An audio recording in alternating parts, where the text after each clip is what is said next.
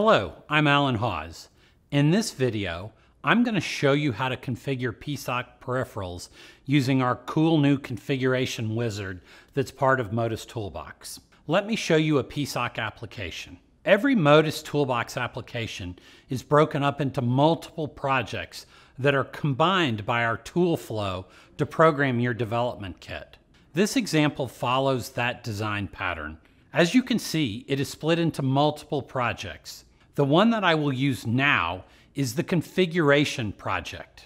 But you can also see projects for the CM4 and the CM0 Plus cores in the PSOC device, and the driver projects for each of the cores. But you'll probably never look at them, but they're there if you need to.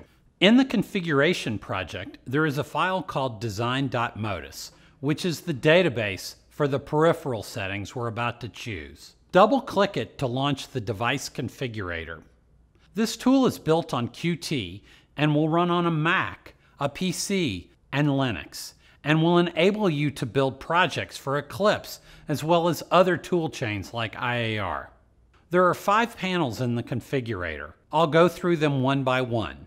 There is the Peripherals tab where you can see all of the available hardware, such as the serial communication blocks. The Pins tab where you can set up GPIOs. Note that the debug pins in green are automatically set up for you.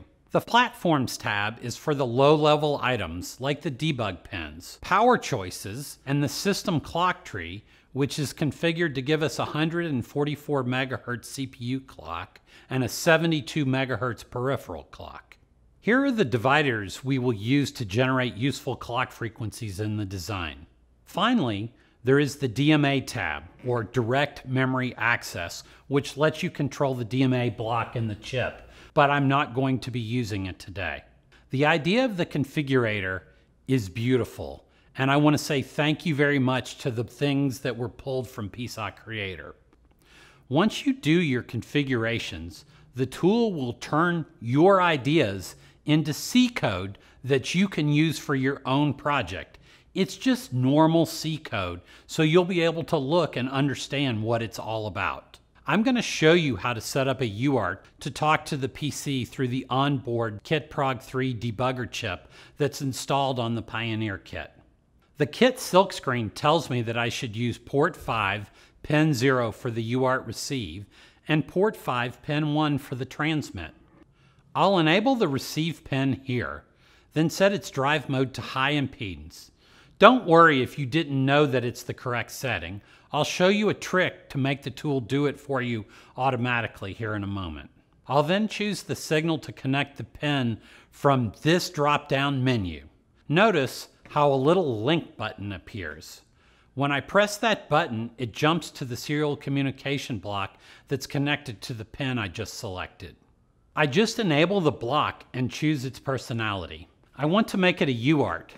We call this pins in design, and it really beats trawling through the device documentation. I've read the TRM, and maybe you need to, but really life is simpler if you just use the configuration menus. I can also give the SCB a name or an alias to make talking to it easier in your application code. I will do that now. In fact, I'll call it bridge underscore UART. This will remind me that this is the UART for the KIT Prog 3 bridge. And it's also just a good practice because it makes the code more portable should you ever want to print out to another SCB. Here you can see the RX pin that I connected. I'll set up the TX now and show you that little trick I mentioned earlier. Pick the right pin and the link button appears once again. Click that and you go back to the pins tab. Notice that the pin is already enabled and the drive mode is set to strong. I didn't need to just know that the strong drive is right for the UART TX pins, but we're all good engineers, so we did, right? If not, don't worry, the tool helps take care of it for you. Let's finish the UART setup. It defaults to 115200 baud rate, and that's fine, but it needs a clock input. I'll pick the first one. I'll click on the link button to set that up. As you can see, it's already calculated that I need to divide my 72 megahertz peripheral clock by 78 to generate the baud rate that I'm trying to get. How easy is that? Thank you again, Oregon and Ukraine, for building this cool thing. That's all the configuration we need to do. I'll save the file and it will update my ModusToolbox application in the generated source folder with all of the setup C code to configure the device. There's no magic here, just simple C code, which you can easily look at and modify to make your own. All I will then need to do is write the code to turn on the UART and start printing, which I'll do in the next videos. Thank you for watching. I'm very excited about our new tool, ModusToolbox, and I would like to hear what you think. If you have a technical question, please post them to Cypress Developers Community at community.cypress.com. I watch that site, and so does my whole applications team, so you will get quick responses to your questions. If you want to send me a personal note with an observation or a suggestion, my email is alan underscore hawse at cypress.com or tweet me at AskIoTExpert. Thank you very much.